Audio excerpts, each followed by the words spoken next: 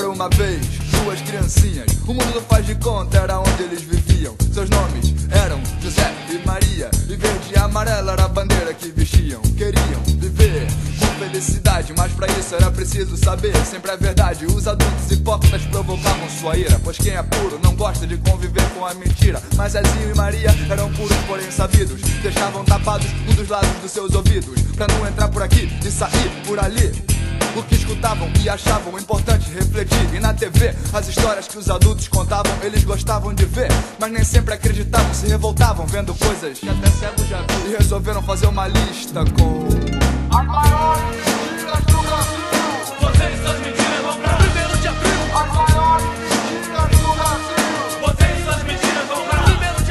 mentira absurda encabeçava o hall. Deus é brasileiro. Só se for no futebol, certas frases conhecidas são mentiras e ninguém nega. Por exemplo, A justiça é cega, quem prega, isso é canalha. Porque aqui a justiça tarda e falha, e o Zezinho gargalha com outra mentira boçal. qual? O brasileiro é cordial. Mas que gracinha, imagina se não fosse. Se o brasileiro é amável, Adolf Hitler é um doce. Porque a lei de Gerson é o nosso evangelho. Todos querem e não se respeita nem os velhos. Dizem também que o pobre é malandro, mas o povão tá só ralando. E quem tá armando são os grandes empresários e empreiteiros. Mas até hoje só prenderam o PC E os bicheiros. no país da impunidade, tudo é contraditório. Deixam o resto em liberdade em troca de um simples bode expiatório. Situação É patética. real ou ilusório o processo de restauração da ética? Será que é boato? Zezinho e Maria perguntavam. Enquanto isso anotavam. As maiores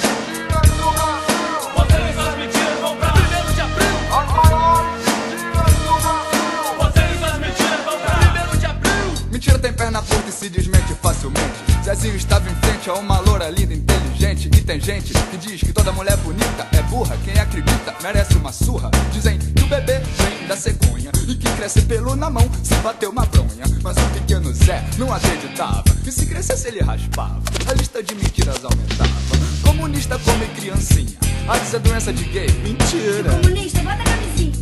Mariazinha ficou mocinha e descobriu que era caô, que só existia sexo com amor. Aprendeu a falar inglês e viu que não é só filme brasileiro que tem muito palavrão. Pois foi no cinema e ouviu tudo que eles cortam na legenda e na dublagem da televisão. Queriam as verdades sem cortes, queriam liberdade, queriam independência ou morte. Perguntaram ao fantasma de Cabral, a história é real entre Brasil e Portugal. Não foi sem querer que descobrimos o vosso país. Nós portugueses não somos burros, como se diz. Outra piada que não era nada séria. Era que a seca do Nordeste era culpada da miséria. Desculpa esfarrapada, puro blá blá blá. Pois se os políticos quisessem eles faziam o sertão virar mar. Tem também a lenda eterna da falta de verbas. As moscas mudam, mas é sempre a mesma. E a lista continua sem parar. Com mentiras que o Pinóquio teria vergonha de contar. As maiores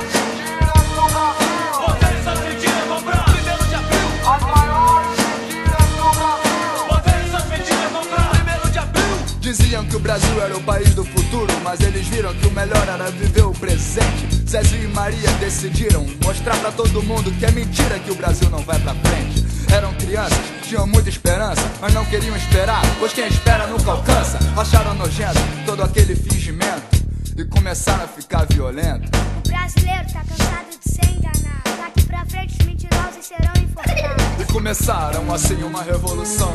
Controlaram todos os meios de comunicação e revelaram sua lista com as milhões de mentiras que atrasavam a ordem e o progresso da nação. Só tinham uma saída pro país: acabar com as mentiras pela raiz. E como toda revolução deixa cicatriz, o sangue jorrou feito um chafariz.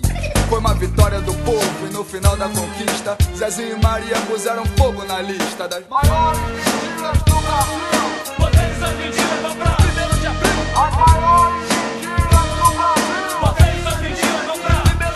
E voltarem pra casa encontraram seu pai emocionado por tudo que eles tinham aprontado. Uma nova era tinha começado e não era à toa que os olhos do coroa estavam encharcados. Uma lágrima desceu e Zezinho percebeu que descobria mais uma mentira nessa hora. Homem também chora.